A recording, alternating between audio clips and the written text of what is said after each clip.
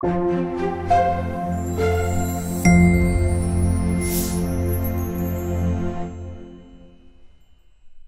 right, so today we're going to talk about non-invasive testing for PAD or peripheral arterial disease. It's something that's actually very important if you're going to really build a robust vascular practice uh, when you're on the job or when you're out in the community. Uh, it's something that actually was uh, started a long time ago by radiologists, and uh, a lot of it now has been is done by really a lot of different specialties. So it can be interventional radiology, interventional cardiology, and vascular surgery. And so a lot of these practices will have robust non-invasive uh, labs or, or testing available. And this really takes the full, it really encompasses the full spectrum from arterial all the way to venous disease, whether it's superficial or deep venous, uh, et cetera. And it can also encompass uh, carotids, transcranial Doppler, and abdominal aortic aneurysms and mesenteric disease, renal disease, etc. Uh, you could even throw in TIPS uh, into that category as well. And so the main thing to look at today is we're going to focus really on peripheral arterial disease and non-invasive testing for them. So just to give everybody a reminder, remember there's several PAD uh, uh, pathways in terms of how patients present. Remember, the majority of patients are still asymptomatic. They have some level of peripheral arterial disease but they're not really manifesting symptoms yet. And really, a lot of people like to think of, well, everything is either claudication or a wound. And in reality, you know, a third of patients uh, really present with atypical leg pain where you're trying to figure out what is going on and where the level of disease is. 15% classic claudication. They walk a certain distance. They have uh, discomfort in a certain part of the leg. It improves after five to 10 minutes of, of, of rest.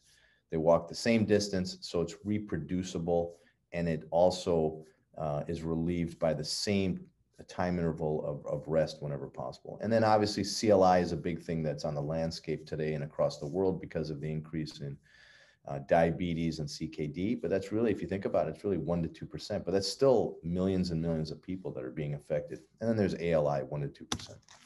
So remember, when we're talking about uh, outpatient PAD, we're talking about the categories related to that and not acute limb ischemia, which is a separate uh, discussion and a separate uh, Rutherford classification. So this one uh, is the classification system you're going to use for the standard outpatient PAD um, uh, who, uh, patient who presents to your office. So obviously, you know, if they're asymptomatic, well, then they're obviously Rutherford zero, and you're probably not going to see those patients anyway. Uh, one, two, and three is uh, differing degrees of claudication. And then when you get to Rutherford class four, five, and six, that is CLI or critical limb ischemia or chronic limb threatening ischemia, depending on uh, which guidelines you're reading. And that's the classic uh, CLI or CLTI that a lot of people talk about. And remember, there are um, objective hemodynamic parameters you can use to determine which category they fit in. In terms of symptom history, remember when you're talking to these patients in the in your workup and you're getting a history, uh, if they have buttock and hip pain, you're classically thinking of aortoiliac disease or inflow disease. If they have thigh pain, either they've got uh, inflow disease or they've got common femoral artery disease or a combination of deep femoral and proximal SFA. Uh, if they have calf, you're thinking of SFA or fem and, and popliteal artery, so fem-pop disease. And if they have foot claudication, which I've seen a few patients of this where they walk and they basically have pain, discomfort, and numbness in the foot, uh, that is classically below knee disease. And obviously, you have to differentiate that from arthritis and, and other issues that they could have uh, in terms of uh, abnormalities related to their Achilles tendon and their and, and plantar fasciitis.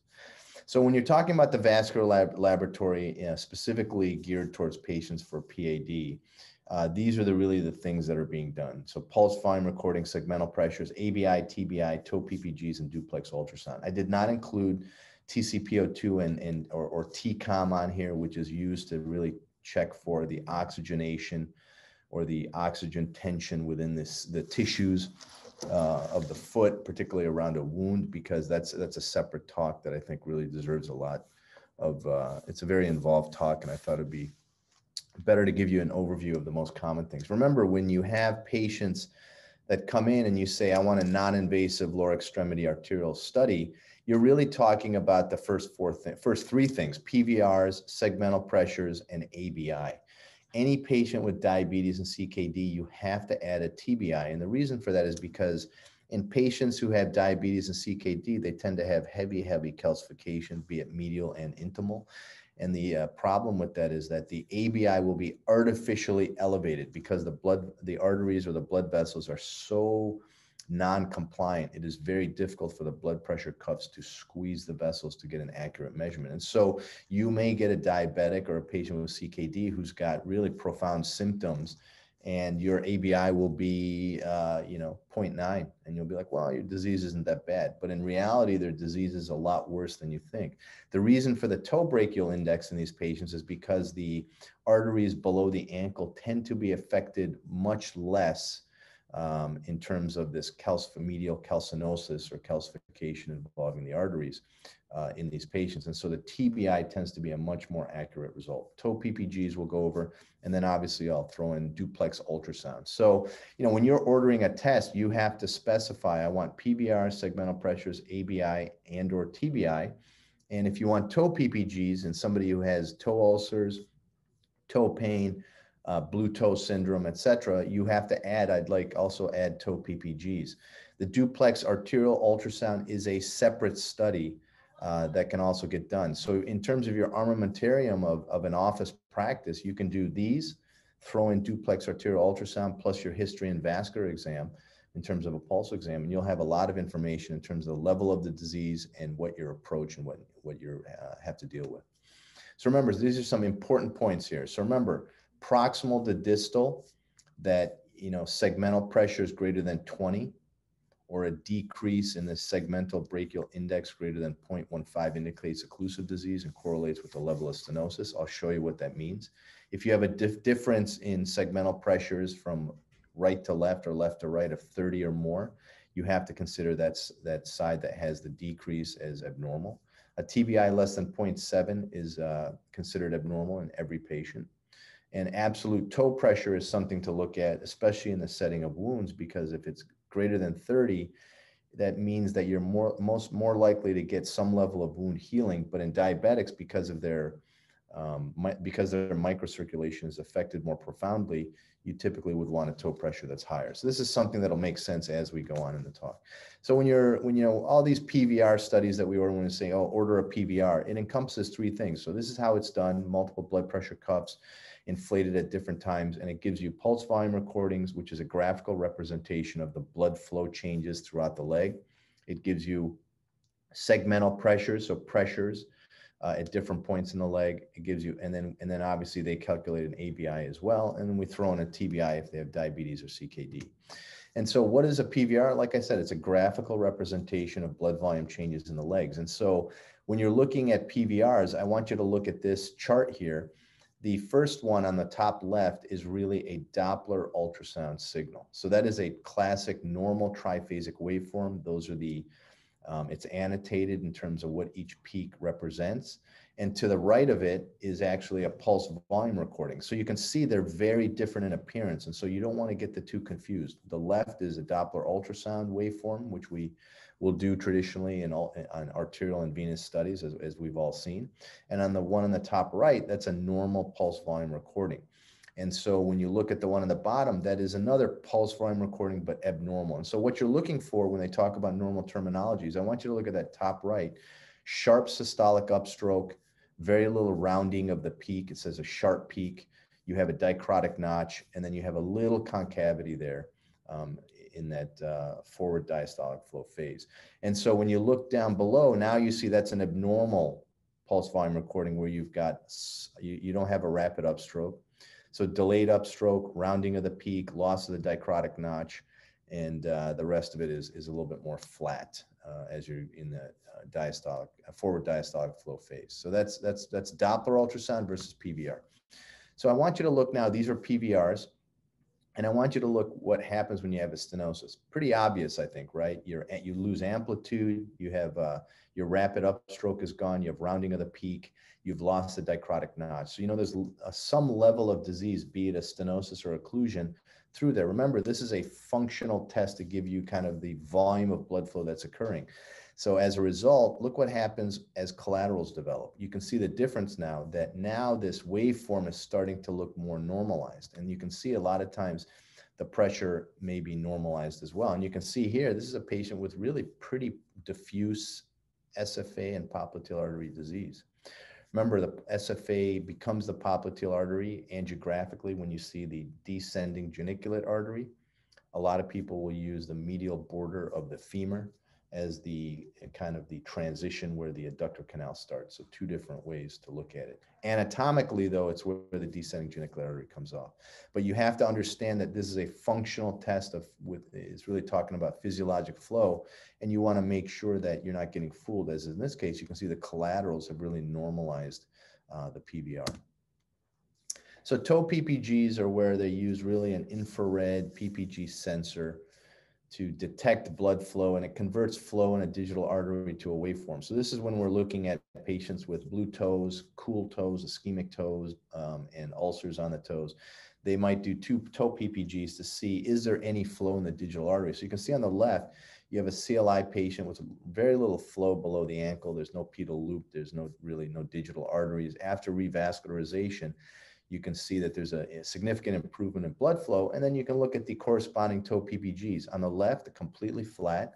On the right, after revascularization, you have at least some flow now in those toes, which can really help heal uh, a wound, a small ulcer, et cetera, uh, in this patient. Remember when you're talking about duplex arterial ultrasound, a lot of people forget the nuance of this. Duplex arterial ultrasound includes two things: B mode imaging, where you're actually getting a ultrasound image of the vessel that you're looking at, plus a Doppler waveform. So when you're thinking of duplex arterial ultrasound, whether it's in the office, when you're looking at it yourself, or when you're taking a board exam, et cetera, remember it encompasses two separate things, and you need to be very precise and clear in your um, discussion or uh, your assessment to make sure that you understand the nuances of each. This is the difference. So now this is very different from PVRs, right? Now you're looking at triphasic, biphasic, and monophasic. So as you lose that peak below the uh, baseline, now you can see how it transitions. And sometimes it's very difficult to tell. And so a lot of page people will dictate I see it's monophasic to biphasic. It's tri, it's biphasic to triphasic. If it's in kind of that in between phase, just to indicate that there's some level, there's some abnormality there, but it's not clearly fitting into a box. So it's not as precise as this graph shows, sometimes this these this diagram shows, but just understand that this is Doppler waveforms. In the top right, those are pulse volume recordings, very different things. They're obtained differently and they actually give you different information. So think of PVRs in some way as physiologic flow. It's giving you blood volume. It's giving you a qualitative assessment of what is going on in the limb. Whereas with duplex arterial ultrasound, beam imaging plus Doppler waveforms, you're getting a much more quantitative assessment of where the level of abnormality is. And you're getting in, in some cases, if you have a good ultrasound tech or a good ultrasound team, you're getting structural information of where the problem is or the level of abnormality. So obviously this is a duplex arterial ultrasound. It's a little blurry, I apologize. But uh, you can see on top, you've got your B mode imaging or grayscale imaging with color flow on. Below, you've got a normal triphasic waveform. So remember, this is duplex arterial ultrasound. Remember, though, that when you obtain this Doppler waveform analysis, there's pitfalls. You can take a vessel that is completely normal, and based on your angle of insonation, you can make it completely abnormal. And so you'll see a lot of these reports will say monophasic in the dorsalis pedis artery bilaterally on every patient, which is impossible, right? It just doesn't make sense. And part of that reason is because the technologist or the physician who did this study, whoever did it, was not using the proper angle of insonation. And so was getting this waveform on the right, which is a monophasic Doppler waveform. So you can see you got to be very careful. And this actually applies when you're using a handheld Doppler. So you'll notice a lot of times with a handheld Doppler, you're like, oh, the flow is not bad. Then you change your angle and it becomes much, it either normalizes or becomes completely abnormal. So you have to be very careful in your assessment. The other thing to think about is a pitfall with Doppler uh, uh, spectral analysis is that when patients have heavy, heavy uh, intimal or medial calcification, is that if the if you're not getting a good Doppler signal, it doesn't necessarily mean that the artery is occluded. If you look at this vessel here, if I insonated where there's no flow to the right of that blood vessel, see on the right part of the image, there's very little color flow there. That's because the calcification is preventing the Doppler signal from penetrating. And then if it can't penetrate, it can't really bounce back. So you end up getting nothing. You get almost no flow there. And then you get fooled thinking that, oh, the whole thing's occluded and there's a problem. What's going on? The best way to do it, turn on the color flow. Where you see color flow means the Doppler signal is making its way through and is being transmitted properly. That's where you put your Doppler gate. That's where you obtain your Doppler uh, uh, waveform. And here's another example that same thing. If you look at this here, heavily calcified artery, again, where the color flow is, is where the signal is getting through best place to insonate or to put your Doppler gate to obtain your, your uh, waveform analysis. So let's look at some basic cases. So here's classic PVR on the left. You can see on the top, it says uh, segmental pressure and PVR study. Patients, what the baseline or the, the comparison in this case that the machine uses is the, the brachial artery pressure. So they obtain, as you can see, right and left brachial artery pressures. That's a systolic pressure. So if there's a difference of 10 or more from right arm to left arm, you have a central problem. Either a uh, you have either a stenosis or occlusion proximal to the brachial artery. That's really all you can comment on if you have a difference of 10 or more. And so that tells you that, okay, well, there's something up there that I, I have to deal with. The next thing I want you to notice is that you see is that they put kind of these blue boxes at different levels. That's to show you where the blood pressure cuffs were. And in each box, you're getting basically the segmental pressure. So it's obtaining a systolic pressure uh, in e at each of those levels on both sides. So uh, if you have a difference of 30 from side to side, that's abnormal. If you have a difference from um, top to bottom or proximal to distal of 20 or more, that's abnormal. Uh, the next thing is I want you to look at the segmental brachial index. If you look, see how on the right, on the top left uh, of the left leg, it says segmental pressure 105, and then it gives you a 0.86 value. Again, that can give you ideas of where the level of abnormality is as well. And then the classic on the lower, uh, below the feet, you can see is the ABI on the right is 1.06, the ABI on the left is 0.73.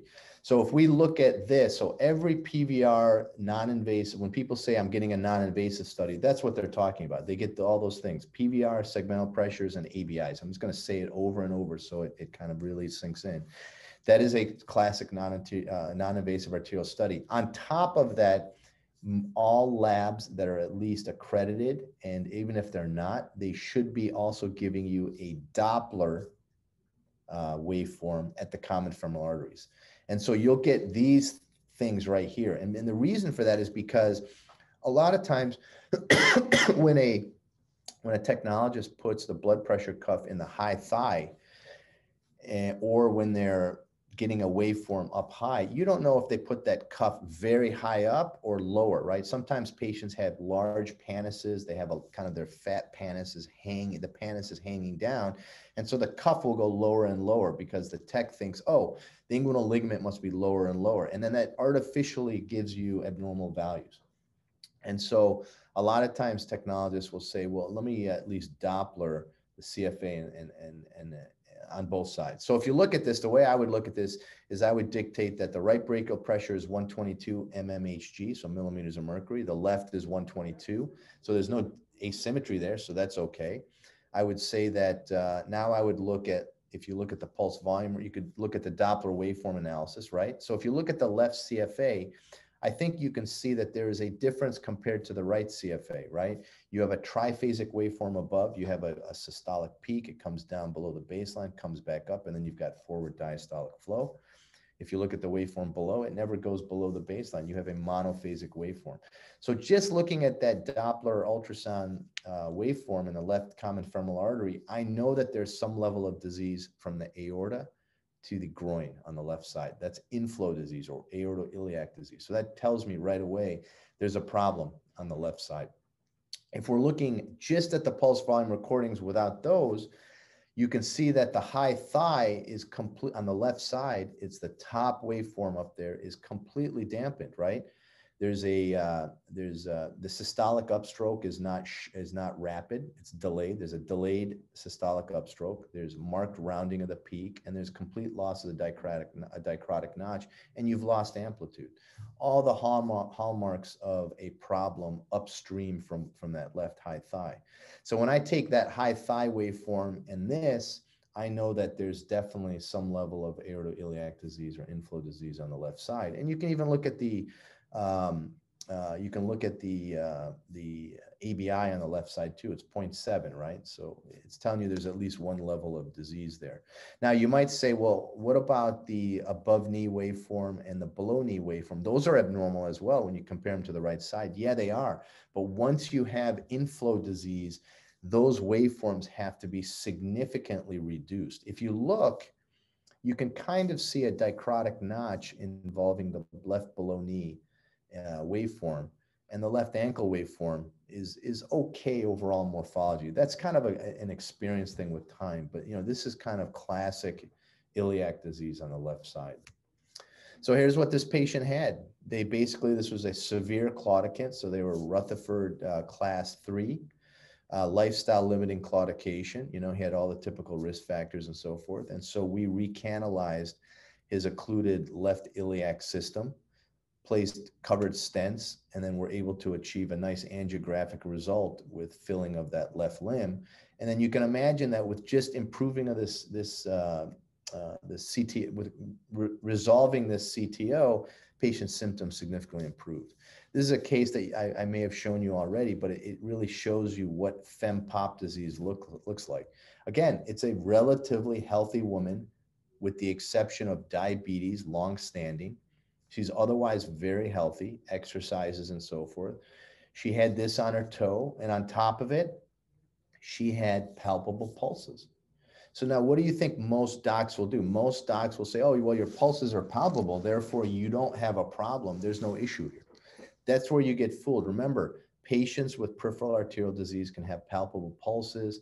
They can be in relatively good shape you know, depending on what your metrics are for that. And they can have really profound disease. So this lady at first, I said, you know, this is probably nothing to worry about. I'm sure this will heal with, with proper podiatry and wound care, but let's order a non-invasive test to make sure.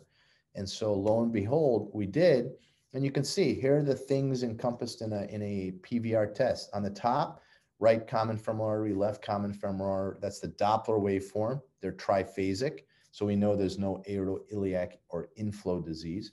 And then we have our standard segmental pressure and PVR study. The brachial pressures, 150 on the right, 157 on the left. They're within 10, within 20, normal. So there doesn't seem to be any problem in terms of a central arterial stenosis of any type.